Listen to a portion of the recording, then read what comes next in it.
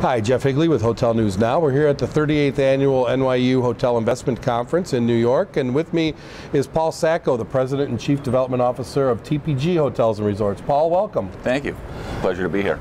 Well, a new gig for you. Yeah. Uh, you were named President uh, late April, right. so President and Chief Development Officer. Correct. That's kind of an interesting combination. It is. How does that work It for is. you? It What's is. the What's the idea there? Well, um, the idea really is for me to help lead the company from a strategic perspective as the president of the company um, and be out there and very visible with the industry, with our investors, et cetera.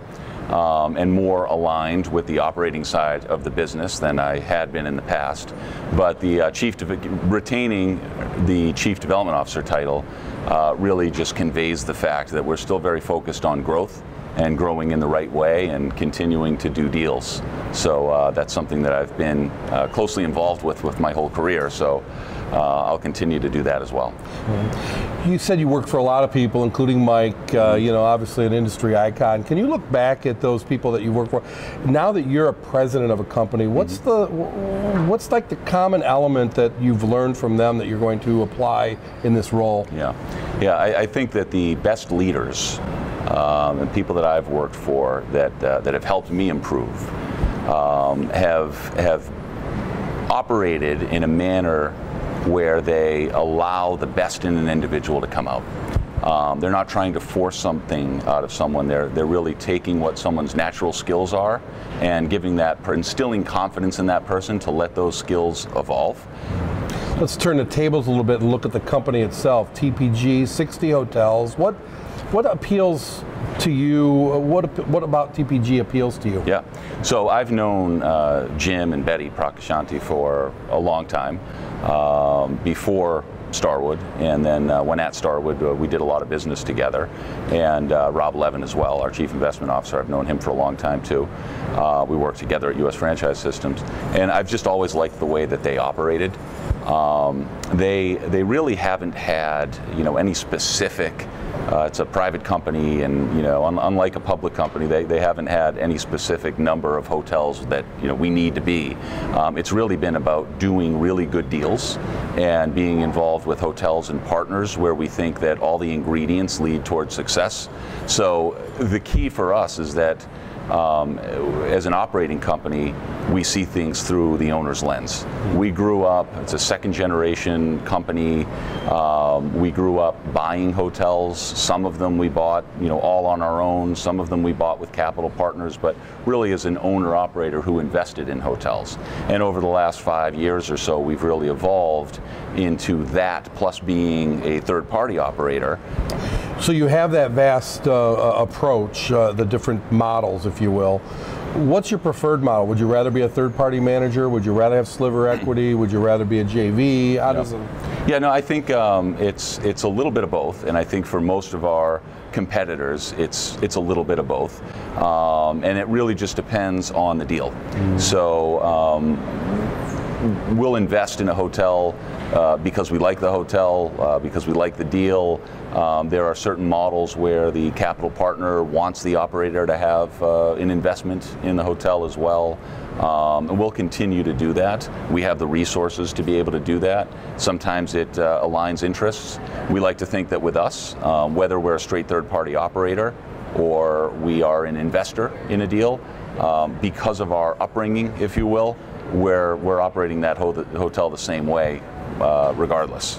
What makes the select service segment something that, uh, that's appealing to to a company like yours? Yeah, um, I mean, there's some great brands in that space. And in markets where uh, it's a more transient oriented market, and uh, there's great amenities around the hotel that you're doing, you know, you have a select service hotel, and uh, it's an efficient model. And um, you know the, the guests may go out to eat anyway, or um, there's not a ton of uh, group business that's right in that area. It's more of a transient-oriented area. Uh, those select service model can be very favorable from a basis perspective and an operating model perspective in those types of markets. So you said uh, earlier that you know you've it's never been focused about on the number of hotels in your portfolio. But is there a magic number? Is there a, a size that you need to get to for critical mass or whatever you want to call it for success? No, I, I think actually at, at you know being around 60 hotels, the infrastructure um, becomes such that you have your your operating platform set up in a way that it can very effectively take on new hotels. Um, you know, the regionals are set up appropriately, and you know, it's, it's, it's largely hotel staff on site that you're hiring when you take on new hotels. And um, there's in our business there's natural attrition when uh, hotels get uh, bought and sold and sometimes a hotel might get sold to an owner operator and fiduciary responsibility you know, you, you're, you're often unencumbered uh, by management on a sale. So there's some natural attrition, and our goal is just to keep adding really good hotels. But uh, being as large as we are today, and having established the infrastructure that we have in place today, um, I wouldn't say that there's a magic number. I think that uh, you know we'll continue to grow, and uh, probably uh, you know grow at a faster pace than we than we um, than we have attrition. How about the other side of the coin, Paul? Challenges. Certainly, there are headwinds in the industry. What's the biggest challenge or set of challenges for TPG today? Um, you know, I think that the the challenges for the industry. Um, you know, the, the, there are challenges for everyone, but they also present for a company like TPG. Um, I think present some opportunity as well.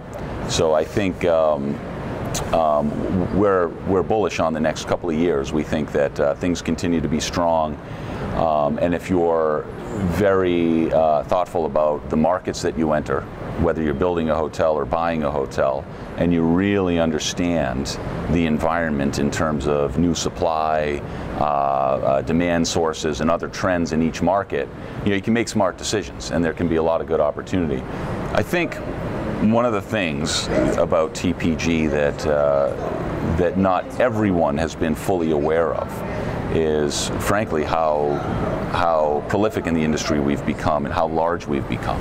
Um, because of what we discussed earlier in terms of being a more quiet giant uh, several years ago uh, when we started uh, being more visible over the past couple of years it became apparent that uh, not everyone knew that we were 60 hotels, that we had 17,000 guest rooms, coast to coast, et cetera. And uh, that's been an eye opener for some. Um, but the, the common theme that has remained is, is that the people that we have operated for, or the investors that we've operated on behalf of, um, have continued to be very satisfied with the results at their hotels. So our goal, TPG today, is to make sure that people are aware of what we've become and where we're going, and that uh, we are in a position to provide our services from a management perspective uh, to a wide array of investors, and uh, we're a, a, very a very viable option in that regard. Okay. Well, I must admit, I was a little surprised when I looked looked it up to find that you had 60 properties. So, yeah. Uh, yeah. so you have been kind of. Uh, you know, on the sidelines, if you will, but Yeah. making the emergence now. Yeah. So, Paul, it's been a pleasure speaking with you. Thank you for the information. I appreciate you Uh, having me. It's great to see you, and it's great to spend some time. Great. Best of luck to you and TPG. Thanks. Same to you.